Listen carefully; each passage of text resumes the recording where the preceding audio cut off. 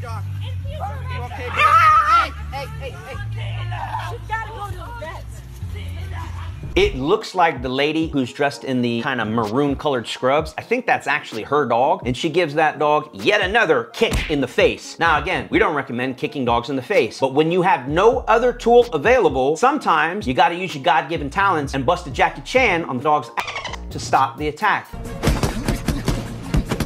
What would be better is a leash. You know what would be better too? Is if that leash had something to hook up to, like a collar. You know what I'm saying? And we gotta have some goddamn training so that this stuff stops happening because it's getting out of control. Can't even walk down the street basset hound without somebody's jackass dog coming out and attacking it. It's not cool.